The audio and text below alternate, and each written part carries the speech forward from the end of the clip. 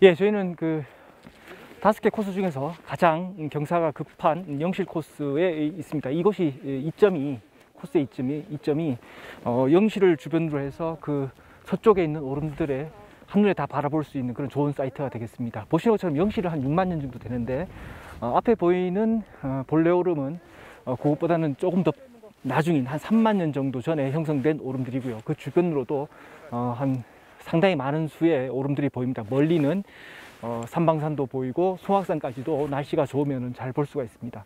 어, 우리가 알고 있는 한라산은 음, 1950m의 높이를 가지는데 아, 한 1000m 정도부터 이제 어떻게 보면 한라산 고지대라고 한다면은 1000m부터 한 1950m까지 한 이- 거의 한 20만 년에 걸쳐서 만들어진 화산체라고 보시면 되겠습니다. 어, 영실 코스의 이점 중에 하나가 어, 경사가 어, 어, 좀 급한 반면 주변 경관을 잘 볼 수 있다는 장점이 있습니다. 어, 보시는 것처럼 어, 영실에 거의 올라서면은 서쪽으로 많은 오름 골락들이 보입니다. 어, 제주도에 한 360여 개의 오름들이 보- 분포하는데 그 중에 한 절반 정도를 이 자리에서 볼 수 있다고 보시면 되겠습니다. 어, 이들 오름들은 실제로 각각 형성 시기가 다 다르게 에, 형성이 되게 되는데 어, 영실 같은 경우에는 어, 한 6만 년 정도 전에 형성되었고요. 가까이 보이는 어, 본래 오름 같은 경우는 한 어, 3만 년 정도 전에 형성이 되었습니다. 그리고 영실로 올라서게 되면은 어, 윗세 오름이 있는데 그 오름은 어, 영실보다는 후기이고 본래 오라- 오름보다는 좀 더 빠른 시기에 형성된 오름들이 분포하게 되겠습니다.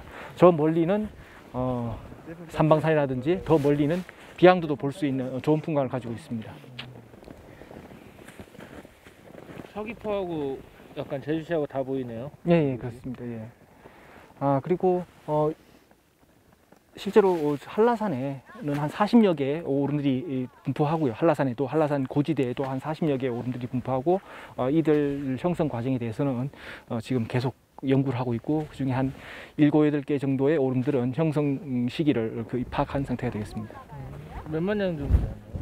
어, 우리가 서 있는 영실이 한 6만 년 정도, 그리고 저기 어, 백록담은 한 2만 3천 년, 그리고 어, 삼각봉 같은 경우는 한 8만 년, 그리고 어, 99골 같은 경우는 한 10만 년, 그리고 성판악 같은 경우는 한 3만 년 정도에 형성된 걸로 알고 파악되었습니다. 저걸 TV에 다큐에서